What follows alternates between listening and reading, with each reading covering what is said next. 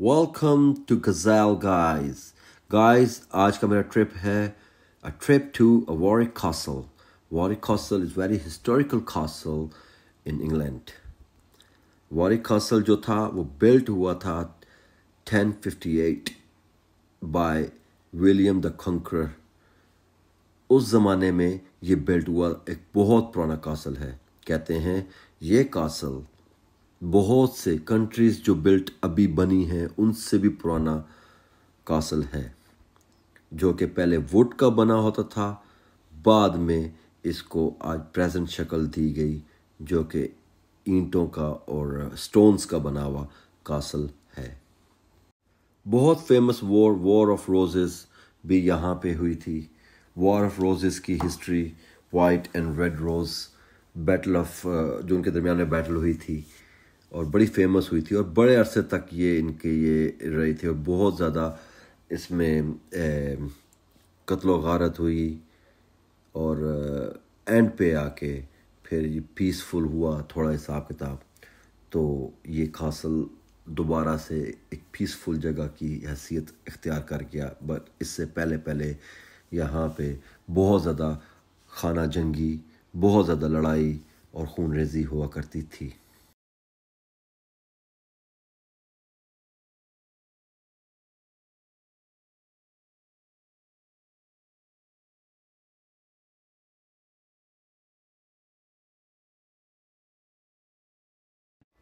Warwick castle, Warwick जगह है England में।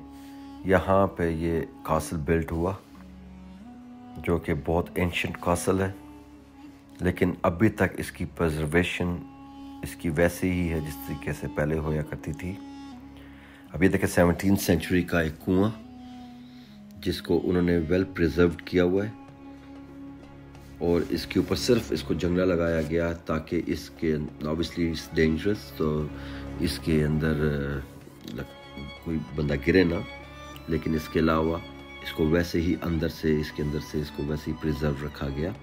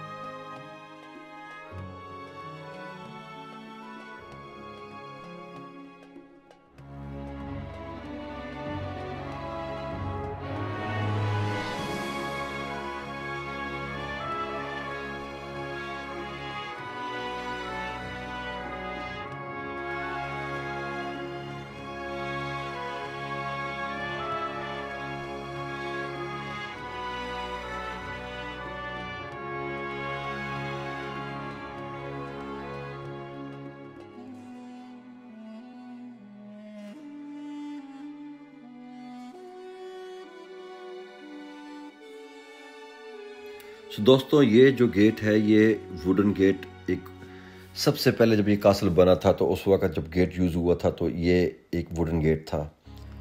बाद में इसको, बाद में इन्होंने पक्की एक दरवाजे की शक्ल दे दी गई लेकिन ओरिजिनली ये गेट था, जो कि कई इस इस गेट ने कितनी लड़ाइयाँ, कितनी जंगें देखी।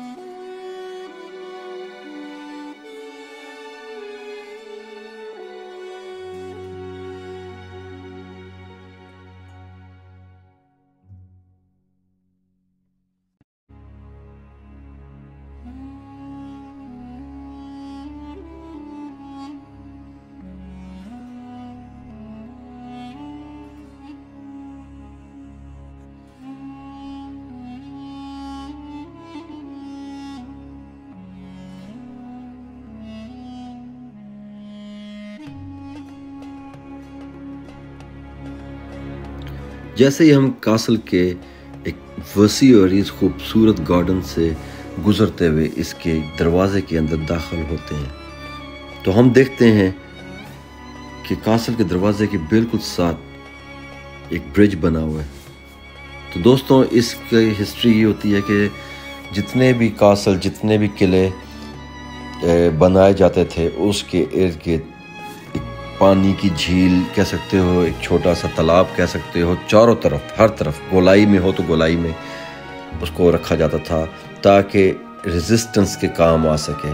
वो सीधा सीधा दीवारों पे आके अटैक ना करे कोई भी आर्मी ये जो जगह है, यहाँ पे कभी पानी होया करता था। ज़रा अब तो ये ग्राउंड ग्राउंड बन गया।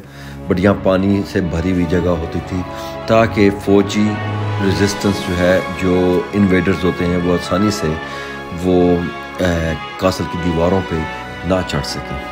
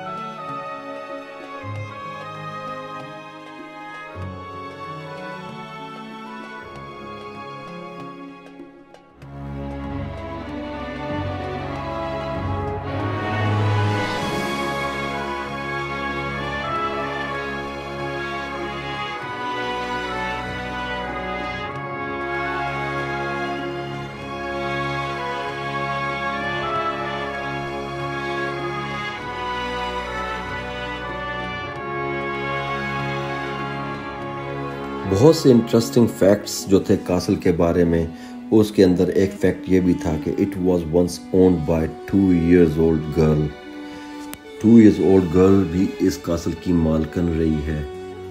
ये भी एक बहुत इंटरेस्टिंग फैक्ट है इस कासल का।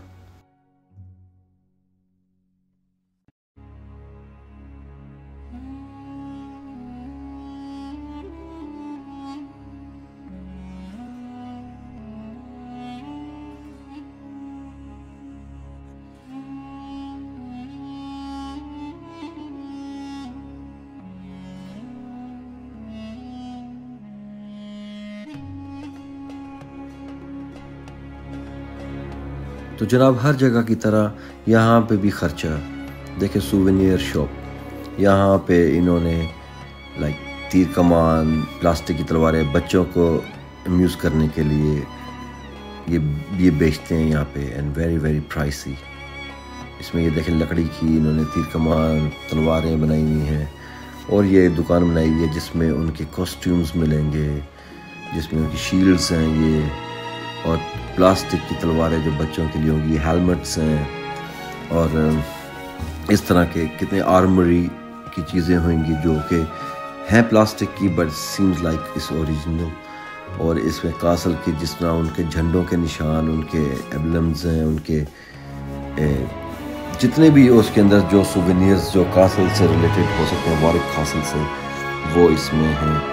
बट हाईली एक्सपेंसिव तो गाइस मेक श्योर आप जब अभी जब भी कभी आओ आप इस कासल में आओ तो कोशिश यही करो कि एक छोटा सा एक दो सविनर ले लो but don't go too far दोस्तों, कहा जाता है कि इस कासल का जो डंजन था, जो कैद खाना था, दुनिया के सबसे वर्स्ट कैद खानों में से एक था। बहुत ालम किस्म का कैद खाना था यहाँ पे। ये कैद खाना ऐसा था कि यहाँ पे even king king Edward the fourth वो भी इस कैद खाने में लॉकअप हुआ था। और ये इधर की सज़ाएँ और इधर का जो भी टॉर्चर का सिस्टम होया करता था, बहुत ज़्यादा हॉरीफाइड किस्म का था। आप देख सकते हैं, ये एक मिसाल आपके सामने है। मैं आपको उधर के अंदर की वीडियो नहीं दिखा सकता ज़्यादातर। क्योंकि वो मना है अंदर डंजन की। लेकिन फिर भी जितना हो सके मैं आपको दिखाऊँगा। ये कासल के अंदर का हिस्सा आपको मैं दिखाना चाह रहा हूँ कि अंदर की जो इनका स्ट्रक्चर है रूम बड़े बड़े रूम थे और उसके अंदर ये नीचे सीढ़ियों में जाते थे डंजन्स कहाँ पे आते थे, ये देखें। यहाँ पे अंदर कैदियों को अंदर रखा जाता था।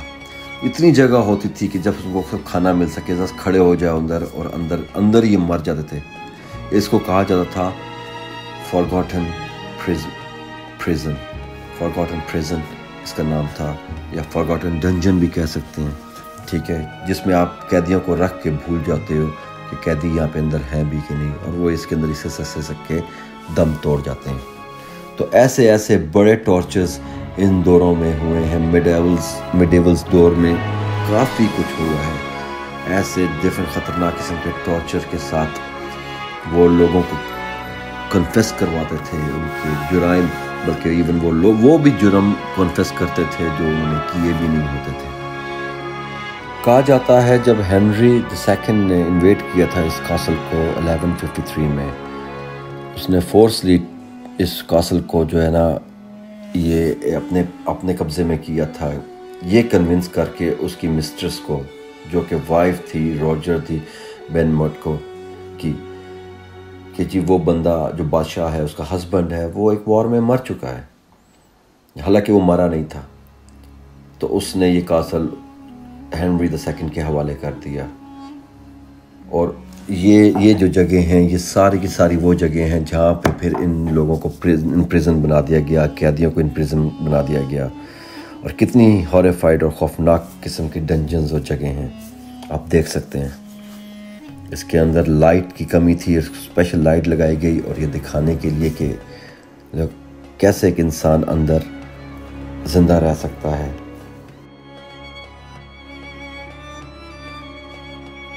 चले बहुत दंजन दंजन खेल लिया कैदी कैदी खेल लिया, अब ऊपर चलते हैं। और आपको दिखाता हूँ कासल के कुछ डिफरेंट डिफरेंट और हिस्से भी। और यहाँ पे बहुत रश है, क्योंकि समर हॉलीडेज़ हैं, बहुत ज़्यादा रश है, बहुत लोग इकट्ठे हुए हैं। और आपको ज़ाहिर है, इन अट्रैक्शंस को देखने के लिए टिकट भी बाय करना पड़ता है। And ticket is not that cheap England में अट्रैक्शन बहुत हैं बच्चों के लिए, बड़ों के लिए बट वेरी एक्सपेंसिव एक दफ़ा क्वीन एलिज़बेथ के लिए इस कासल को सजाया गया था, क्योंकि कासल पूरी तरीके से डिस्ट्रॉय हो चुका था तो क्वीन एलिज़बेथ ने कहा था कि I want to visit here और क्वीन एलिज़बेथ की विज़िट के लिए इसको दोबारा से रेनोवेट किया गया था कासल को पूरा का पूरा।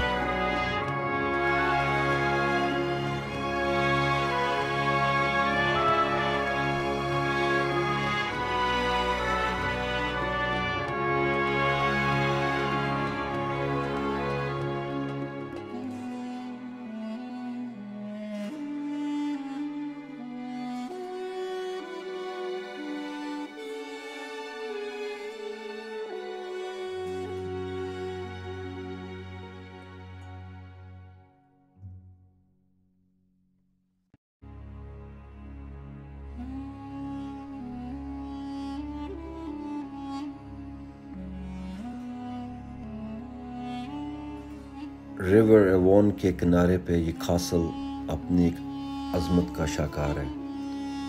Very beautiful picturesque valleys around it और ये देखें, बहुत बहुत खूबसूरत सीनरी आपके सामने, पानी। और ये इनके अब कमरों की हालतें देखें, इनको रेनोवेट किया गया। ऑफ़ कोर्स रेनोवेशन है ये, लेकिन उसको उसी हालत में ही रखा गया है, जो कि इसकी हालत थी।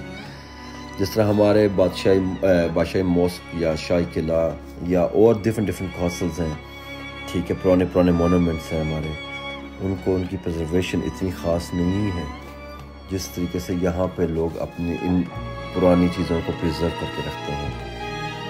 इसमें वही पुराने आपको चीज़ें मिलेंगी, वही पुराने आपको हथियार मिलेंगे वेपन्स और अपने, वही बेड और वही चीज़ें आपको देखने को मिलेंगी जो उस ज़माने में यूज़ हुई हुई हैं।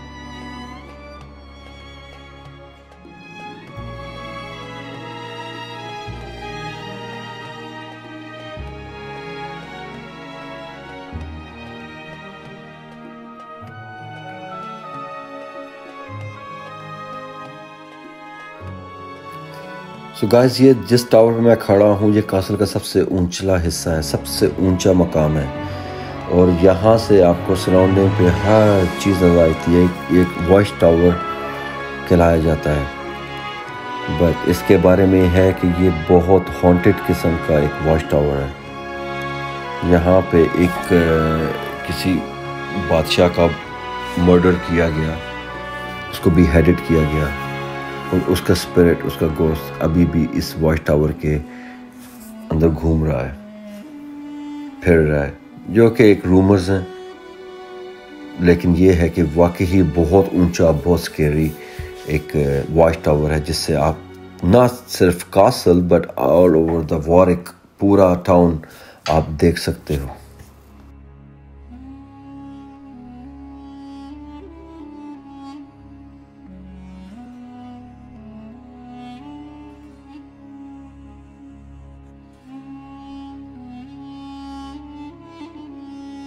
कासल के ग्राउंड्स में जाके देखते हैं कि यहाँ पे क्या है। जब देखा तो यहाँ पे कुछ डिफरेंट डिफरेंट शोज़ हो रहे थे। और पूरी पूरी दुनिया यहाँ पे जा रही है। यहाँ पे देखें डिफरेंट डिफरेंट खाने पीने की आपकी मार्केट्स भी लगी हुई हैं, जिसमें आप like obviously if you are hungry if your kids are hungry you can eat and you can drink so mean हम लोग चलते चलते चलते चलते हम लोग उस सिमत में जा रहे हैं जहाँ पे वो शो, वो फेस्टिवल्स इनका हो रहे हैं उनका।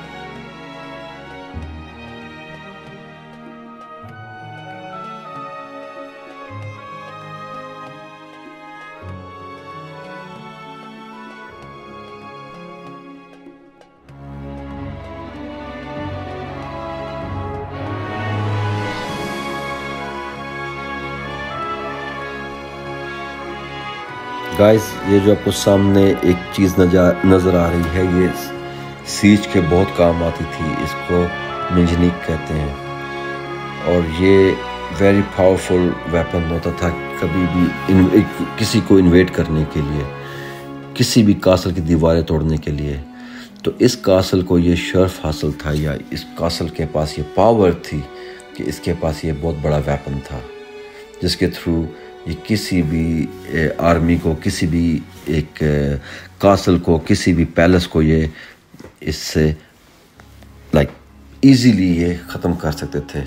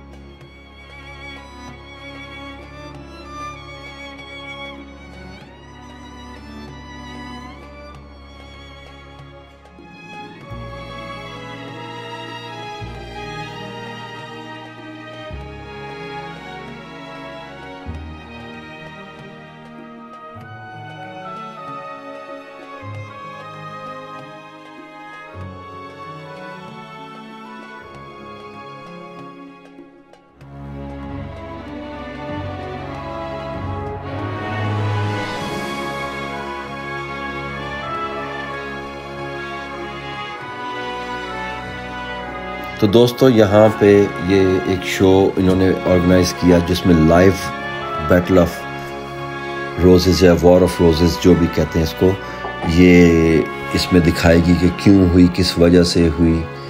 White roses versus red roses ये क्या हिस्ट्री थी। और ये पूरा एक लंबा, एक एक पूरा सेगमेंट था जो इन्होंने एक्ट करके दिखाया जो कि वेरी वेरी इम्प्रेसिव था। वेरी इम्प्रेसिव था बट मेरे पास ज़्यादा obviously already video is too long I can't show you people here so ये इंटरेस्ट की बात भी होती है if you go there you और अपने आप लाइफ वहाँ पे देखो तो दैट वुड बी वंडरफुल तो मैंने यहाँ पे कट शॉट करके एक आपको क्लिप दिखाया कि ये पूरा एक्ट इनेक्टमेंट करके दिया उन्होंने कि जी किस तरीके से ये वॉर स्टार्ट हुई और किस तरीके से ख़त्म हुई।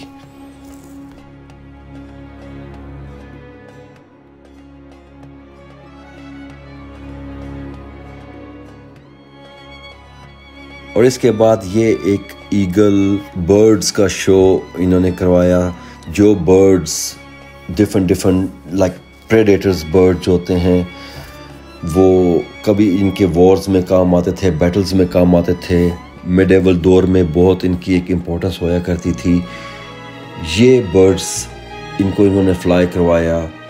ये हम सब के ऊपर से गुजरते गुजरते बर्ड्स आए थे। डिफरेंट डिफरेंट बर्ड्स इसमें आउल से लेकर पैगन फैल्कन से लेकर आगे अमेरिकन ईगल तक सब इसमें शामिल हैं। ठीक है, इसमें बहुत से डिफरेंट डिफरेंट बर्ड्स थे जिन्होंने पार्टिसिपेट किया और it was very very amusing it was very interesting ठीक है तो ये चीज़ आपको मैं बताता चलूँ। यहाँ पे बड़े क्या, छोटे क्या, सबने बहुत इन्जॉय किया इस पूरे फेस्टिवल को, इस पूरे कासल ट्रिप को।